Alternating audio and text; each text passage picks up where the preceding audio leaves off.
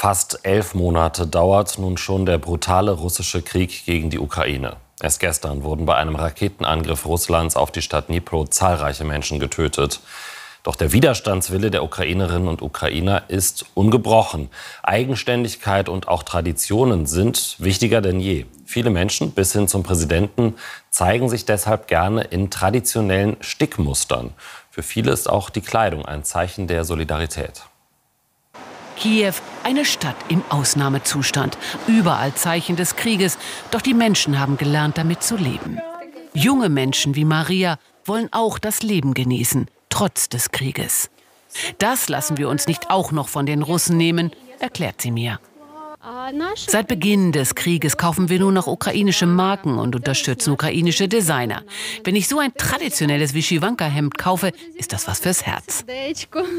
Wie zum Beispiel auch dieses Sweatshirt mit dem Text eines ukrainischen Liedes aus dem Ersten Weltkrieg, das jetzt zum Hit wurde und zum Symbol des ukrainischen Widerstands. Dieses Lied ist seit Beginn des Krieges in aller Munde. Alle singen es. Es macht Mut, nicht nur dem Militär, auch Zivilisten. Und daraus haben wir eine ganze Kollektion gemacht. Eine große Herausforderung für die beiden Unternehmerinnen. Ständige Stromausfälle, wochenlanges Warten auf Stoffe, Lieferengpässe.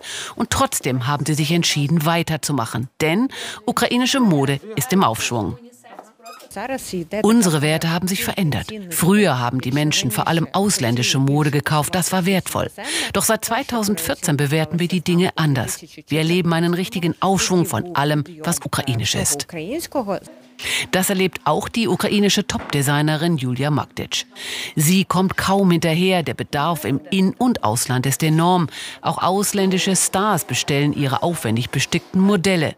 In diesem Mantel wurden 2000 Meter Garn verstickt. Auch sie kämpft mit Lieferengpässen, will aber nun eine Plattform gründen, auf der ukrainische Produkte weltweit vermarktet werden können. Die Leute haben verstanden, wenn man ukrainische Unternehmen unterstützt, hilft man der heimischen Wirtschaft, denn wir schaffen Arbeitsplätze und sorgen dafür, dass nicht alles den Bach runtergeht. Und darauf ist sie stolz, denn es sind vor allem auch Frauen, die jetzt mitten im Krieg die Wirtschaft am Laufen halten.